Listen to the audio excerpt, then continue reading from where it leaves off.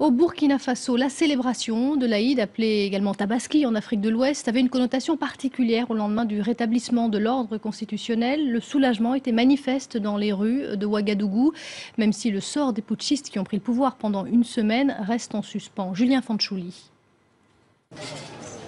Ce devait être un jour férié, mais Ouagadougou grouille de monde. Les banques, les stations essence fermées ces derniers jours ont repris du service. La place de la Nation, elle est encore bouclée par l'armée régulière. C'est donc au stade municipal que les musulmans se retrouvent. Des milliers de fidèles venus fêter la première journée de l'Aïd, surnommée la Tabaski dans le pays. On célèbre aussi la fin du coup d'État, une double raison de se réjouir. C'est un sentiment de joie et de, de sérénité. Vous avez vu, les musulmans sont venus, la prière s'est bien passée. C'est ce que nous souhaitons au Burkina Faso, la paix surtout.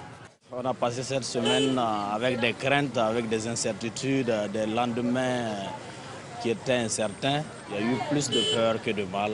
Vraiment, on remercie le bon Dieu. Un retour à la normale donc, mais à la sortie de la célébration, certains demandent des comptes. Et maintenant que justice soit faite pour euh, ceux qui ont commis tous, tous ces crimes-là.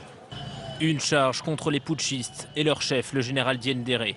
Ces derniers ont cédé le pouvoir ce mercredi, mais leur sort pose question. Poursuite judiciaire, désarmement, dissolution.